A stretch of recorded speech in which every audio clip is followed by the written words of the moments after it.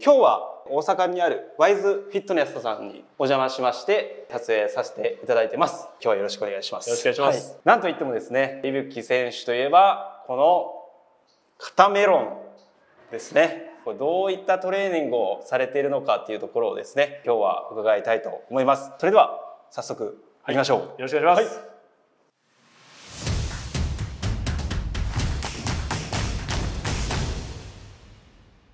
トレーニングを教わりたいと思います。肩のトレーニングといえばサイドレイズということでフィジークといえばこの肩の横の張り出しこれを作るための種目で、まあ、一番に出てくるのがサイドレイズだと思いますので、まあ、それをですね今日教わっていきたいと思います、はい、サイドレイズ結構されますか？サイドレイズはそうですね肩のトレーニングの時はもう毎回毎回。やる大大事な種目ですね。ですよね、はい、ポイントとかね細かいところあると思いますので、まあ、そのあたり今日聞けたらなと思います、はい、まず私がまあどんな形でサイドレイズをしているのかっていうのを見ていただきたいと思うので、はい、すいませんが、よろしくお願いします。よろしくお願いします、今日はまあダンベル3キロでですね、まあ、行ってます。普段は8キロから10キロぐらいで15回ぐらいを狙って、まあ、やっております、はい、はい、足幅はですね腰幅ぐらいに開く感じで、まあ、ちょっと前傾姿勢で、まあ、そのまま斜め前に上げていく感じで行ってます。もう本当にこんな感じで。でできるだけ僕の場合は地面とまあ垂直からちょっと上までまあ上に引き上げるような感じで行っていると。はい、では、はい、肩にバチバチに入るやり方を少し解説していきたいとよろしくお願いします。思います。はい、まずですねこう結構足ですねこう肩幅ちょい狭めぐらいなんですけど結構こうハの字に開かれる方が結構多いんですね。はいはい、ってなるとやっぱりこう足がこうねじれてしまってるんでこう上に伝わる力としては分散してしまう。はいはいはい、で僕は基本もうまっすぐにして少し親指の付け根母子球ですね。少し前寄りに体重を乗せるような感覚で。で少し膝はこうリラックスして曲げてもらってでポイントとしては僕は背中をこう思いっきり広げるんですね。で背中を広げてもらうとこう腕がこう折り切らないの分かりますか？閉じないというか、この閉じないっていう状況が言ったらここにこう棒を挟んでもらってるような感じで腕が閉じない。でこの閉じない時に肩のこの真ん中の筋繊維が伸びてるんですねストレッチが効いてるというか。なのでサイドレイズで結構こうストレッチを効かせずにこう下ろしきっちゃう人っていうのが多いんですよ、ね、でも下ろしきっちゃうと肩の次に伸びるのがこの僧帽筋なんですね。なんで肩僧帽肩僧帽ってこう力が分散しちゃってて肩だけに入らない状況っていうのがすごい多いんでめちゃくちゃもったいない。なのでしっかり背中を開ききった状態で閉じないバネを作ってあげるこの時に下ろしきるけど閉じないんで肩の真ん中が伸びる。でこの反動じゃないですけどバネでそのまま上げてあげる。っていうのが上げ下げのポイントなんですね。っていうのとあとよくやりがちな人多いのが体の真横に肘を持ってくる人がすごい多いんですけど、人間ってやっぱ体に近ければ近いほど物を持ち上げるパワーがあるんですね。でその次に真横で上げるのがパワーがあるんですね。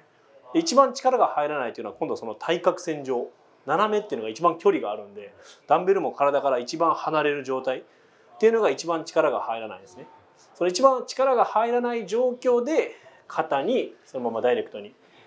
言ったら肩に一番力が加わる距離。で上げてあげると一番いいんで肘が真横よりも少し前で上げてもらうのが正しいサイドレイズの上げるポジションかなって僕は思ってます。っていうのと前傾って先ほど言われたんですけどこれもすごい大事なポイントで言ったら前傾しないとこのまま言ったら反った状態で上げると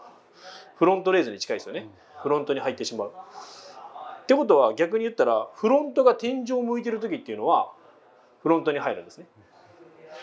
天井向いてますよね肩の。フロントが。で今度逆にリアやる時は天井に向けるのはリアですよねっていうことは肩の真ん中をきれいに天井に向ければいいってことなんでこの普通にサイドレーズ直立してやると肩のこのお皿っていうのがこう斜めになってるんですね人間は。でこれをまっすぐにするために前傾にしてあげる前傾にすると肩の真ん中がきれいに天井の方を向くんでこのポジションで上げてあげる。あとはその肘が結構こう伸びきったりして動いてしまう人が多いと思うんですけどイメージとしては簡単なコツがあって足肩幅ちょい狭めでまっすぐで背中広げる。で背中を思いっきり広げると肘が自然とちょっと前に出てくるんででこの状態で自分の前にダンベルで三角形をこうですね作ってあげてその手の甲の直線上手の甲に対して90度の位置にダンベルを上げてあげる。と肩にダイレクトで入るんで。あとはその上げすぎたりして反っちゃ反っちゃったりすると結構この肘よりも手首が上に上がってしまうとこの時点で前腕にすごい力が加わってしまってるんで僕はそれは推奨してなくて手首よりも絶対に肘が上に来るように。こうすると前腕の力が抜けるんでダンベルは指に引っ掛けるような形で肘から絶対に上げてあげるでこの時にしっかり胸を張らない張らないと猫背になっちゃうとここの僧帽筋に背中を使ってあげてしまうんでしっかり胸を張って斜め前に肘から上げてあげる。こうすると肩のチューブにダイレクトで入りやすいんで一度フォーム指導しながらやっていただきましょう。はい足はまずはですね肩幅ちょい狭めでまっすぐ。まっすぐ。はい。そうですねえー、広背筋をそうです。広げる広げて。広げる広げる肩甲骨固める手は前ですね。そうです。少し前前傾でで自分の前に三角形を作ってもらって引っ掛けダンベルもうこれぐらいそうです。でここに対してまっすぐの位置に、はい、肘から上げてあげる。そうですそうですそうです。これ上げる位置はこれぐらいですか？そうです。はい。肩の位置ぐらいまでですねで肘がしっかりこう上に来るように。そうですそうですそうです。でも僕は手首の力はもうほとんど抜いとくんで、はい、手首がちょっと折れるような感じになりますね僕は。前腕はもう力入れない。指先で引っ掛けてる。で肘から。肘か。らあでもそうですそうですそうです。全然違います。僕がやってるサイドレイズとでどんどん疲れてくると全然これ3キロでももう。いやこれ嘘じゃなく本当に肩にダイレクトに乗ってる感じがあすごくします。そうです。で疲れてくるとだんだん人間はこう前腕に力入れ入れたがるんで、はい、手首がこう上に上がってきちゃうので、うんうん、そうならないようにやっぱり肘から肘から。これ大体何キロぐらいで？これは僕は14キロとかでやりますね 僕は。これ今3キロなんですけど 何回ぐらいでされてますか？えー、っとね僕は14キロで15レップとかです。ですぐそのまま9キロ5キロってドロップで落として連続で15回10回上が,、上がらなくなるまでっていうふうにやって1セット。それを合計3セットやるようにしてます、い、や本当にちょっと意識するだけで全然違いますね。本当に。肩の感じが。でもちょっと練習が必要なので本当これでちょっと練習していきたいと、はい、動画見ながら皆さんも、はい皆さんもねぜひちょっと試してみてください。背中を広げるのがと難しいなっていう。そうですね。最初はやっぱりどうしても背中がこう力入らなくて緩んでしまうんですけど、練習して常にこう背中を広げた状態で、ね、この状態でグッと固めるのは分かるんですけど、はい、こっからこう上げていった時に、はいはいはい、抜けちゃう。抜け背中抜けちゃうので、まあ、そこが結構